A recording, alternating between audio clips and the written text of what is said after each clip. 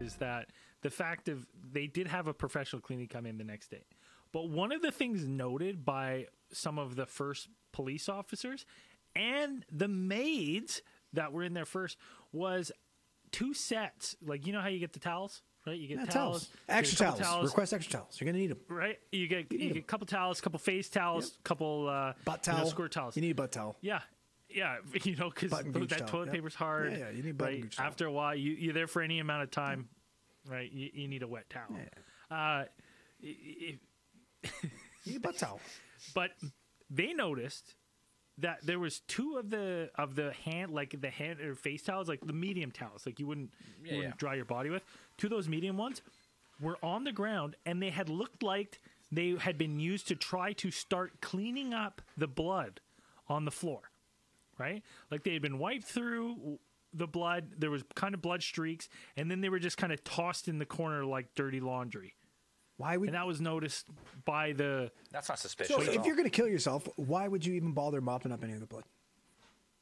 how how would you even be how would you even be able to Here's my thought. This is my thought process on that because there were so many ru- wounds. Usually, when there is somebody who, when they do uh, slit their wrists, there is usually a few hesitation slices. Right? You don't really get to do. You don't do the entire job, and maybe did a couple slices, changed his mind, maybe tried to clean him up potentially, and then went back to the bathtub, changed his mind. I find that highly unlikely, but that's the only way in my brain that that Unless there was someone else there. absolutely. well Oh, and they got blood secondly, on it's them, like right? Yeah. that just that just that kind of just paints a different picture because when you say like oh he did all this in the bathtub well then it goes to the point of like well no there was actually quite a bit of blood on the wall and the bathroom floor which means he would have started the cuts while standing outside of the bathtub Well, it depends. It, it depends it if you could've- hit like if you could've hit an artery. ejected. There's going to be an art, Yeah. arterial spray, right? yeah And he he must have because he if he got to the tendon on a few of those Yeah, cuts, yeah. then Well, and he did it the Yeah, right. he He, went deep. like he did it the He right went way vertical. as well. yeah. Which a lot Yeah. of people don't So do. Don't what Don't do uh, it, don't, what what was with Les, what did you have another interesting fact about Lescrow? I, I, I mean, the the two towels to me were pretty fucking damning right there. Like that's that's Yeah. super bizarre. The fact that the cleaning company felt like they were told everything's good, so they tossed these towels away.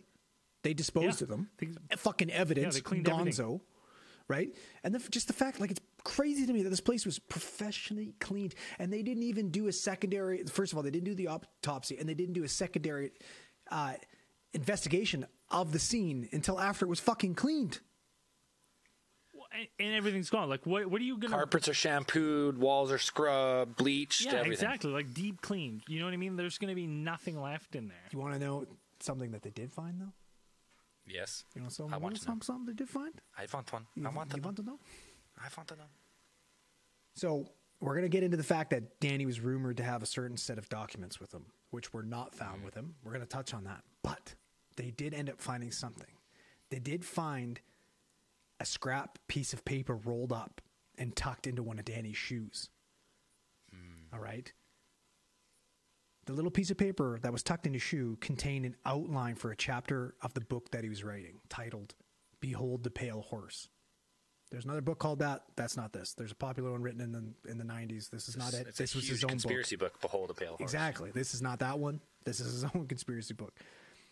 So this was supposed supposedly the final chapter of his book, which read chapter on 1980, terrorist underground, Afghanistan, Middle East, Iran, John Philip Nichols, after arrival, Indian reservation, Fred Alvarez, Paul Morasca, Philip Arthur Denson, Fresno, Hercules, Bill Kilpatrick, The Big Tex, Ricano, San Francisco. Finish up chapter with Paul M and Fred A. All right. So we're gonna A web of people. exactly, and right away we'll talk just just on two guys. He says finish up the chapter on Paul M and Fred A. Well, Fred Fred A is Fred Alvarez, who was the vice chairman of the Cabazon Tribal Council. All right. Well, he was that prior to his death, which was execution style murder. Okay.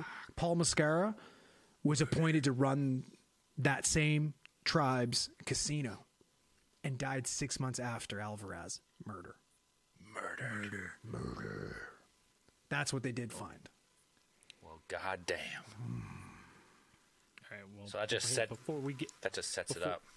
before we get into any further, I, I gotta use the facilities, and I need a Quick refill. drink. Gonna grab a beer. Don't have a bath. Don't have a bath.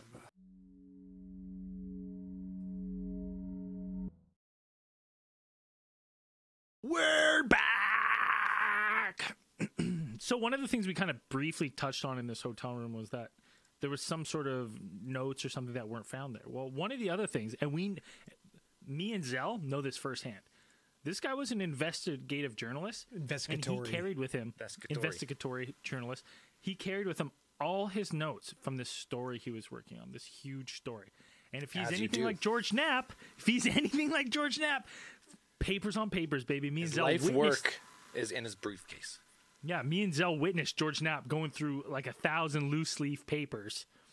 You know, just tossing Shuffling, them around shuffling, in the middle of public, shuffling, shuffling. like trying to make loose connections and shit. And it sounds like Danny was kind of the same. Oddly enough, every all accounts, by all accounts, he had all his research with him on this trip, and he'd been working on this story for over a year. His his maid actually witnessed him pack it all with him before he left for Martinsburg. Now, none, not a single, other than what was found in the shoe and the suicide note, not a single shred of research was found. Zilch. Nada. And Gone. Yeah, and we've been talking about. I mean, yeah, he was an investiga- investigatory journalist. We've been saying that he's had these papers, but we haven't was he really said. We haven't really said what he's investigating. What's he investigating? In short, he was trying to expose, in his in his mind, a sea of covert operative, super surveillance software, and transnational spies, linking them all together to form something that he referred to as the octopus. Right, so he had spent about a year That's better. Four. Yeah. spent about a year he's, he's starting the case. And the case started when he met a man named William Hamilton who owned a software company called Inslaw. And according to Hamilton, uh, his company developed a piece of software called PROMIS, or which stands for Prosecutors Management Information System. And it would gather and organize paperwork from law enforcement and the court system, uh, make it easier to search and whatnot, blah blah blah. Pretty much, it's It like was, a- at the time, revolutionary. You got to remember, this is a time where Hey, this is fucking. court This is systems basically having those three fucking psychics and minor, Minority Report pooping out pool balls to tell you what's going on. who's murdering who. Yeah. shooting out ping pong balls. Murder. Yeah.